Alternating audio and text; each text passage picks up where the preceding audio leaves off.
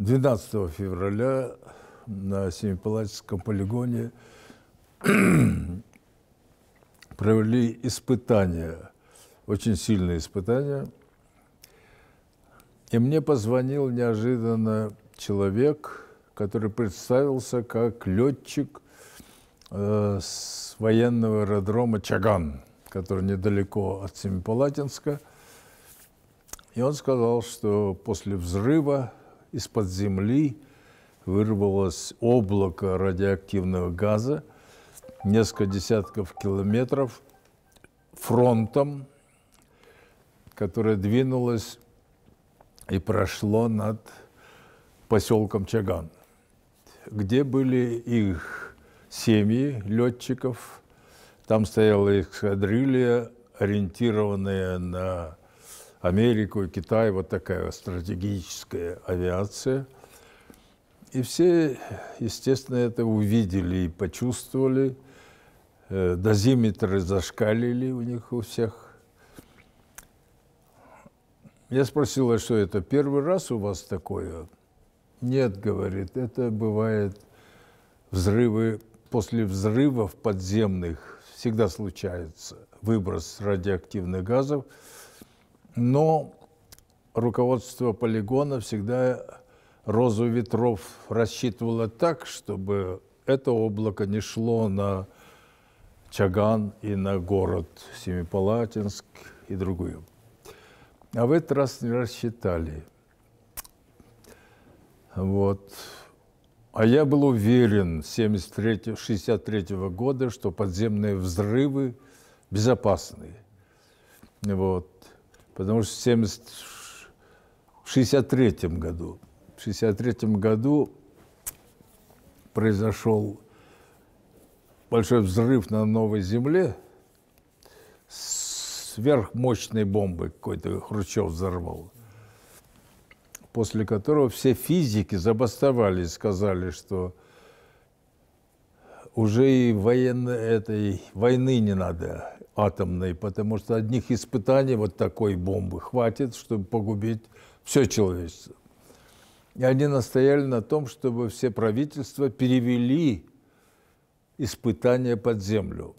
И с 1963 года мы были уверены, что все нормально, все хорошо. А оказывается, вот в феврале 89 я узнал, что эти подземные взрывы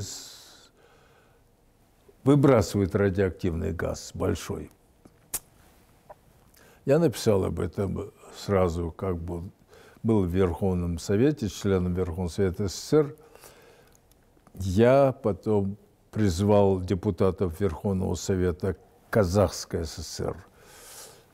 Там, э, я помню, Дмитрий Снегин, Сайн Муратбеков, Хадар Мурзалиев. Они подписались, и мы послали такое письмо э, в Президиум Верховного Совета СССР с сообщением о том, что вот такой взрыв произошел, и просьба прекратить эти сильные испытания. Пока эти испытания попросили, просили прекратить, через некоторое время, э, естественно, это письмо попало и Горбачеву, Горбачев позвонил Колбину. На самом деле такое страшное испытание 12 было февраля. Пусть мне сообщат с места из Семипалатинской области кто-нибудь. Ну а кто там мог? Первый секретарь только. Колбин звонит первому секретарю. Говорит, вот такое поручение – обратитесь уже с письмом, где сообщите все эти данные по Семипалатинской области. И требуйте, чтобы они действительно постарались уменьшить такие сильные взрывы.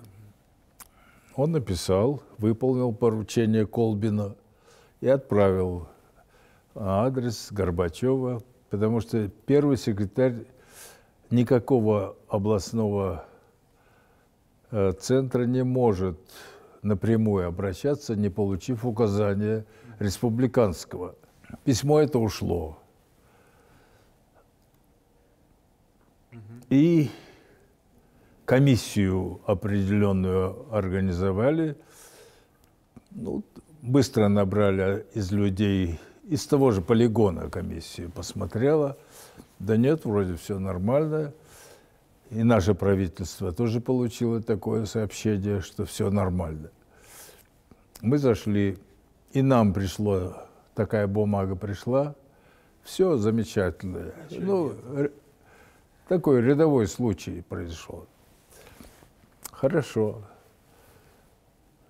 18-го новый взрыв. Еще более мощный. Ага. Но мы уже, естественно, были настроены определенным образом. Я выступил по телевидению, тогда мне тогда мне разрешалось, разрешилось 10, по-моему, или по телевидению, или по радио, я уже точно не помню, скорее всего, по радио. 10 минут прямого эфира. Но для других дел. Я решил воспользоваться этим прямым эфиром, потому что больше мне такого не давали, такую возможность и сообщил обо всем этом, и призвал людей прийти в Союз писателей, потому что мы там будем проводить собрание, посвященное книголюбам какой-то, я уже не помню. Прийти туда, и мы поговорим и на эту тему. И вот 28 февраля я пришел в Союз писателей. Я не смог сразу пройти, потому что Союз писателей был окружен толпой. Это первый был первый митинг такой после Джельтоксана. Во. До...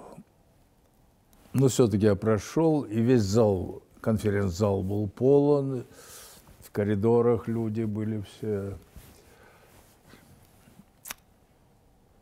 И тогда я сказал, что ну сколько можно, давайте будем требовать закрытия полигона, потому что холодная война, как нам говорят, закончилась. Соединенные Штаты и Советский Союз помирились. Горбачев об этом каждый день говорит. А для чего мы будем развивать ядерное оружие? Против кого? Все, мир наступил. Давайте готовиться к миру. И для начала прикроем э, наши полигоны. Не только Семипалатинский, новую землю тоже надо остановить. Движение мы обратились. Вот.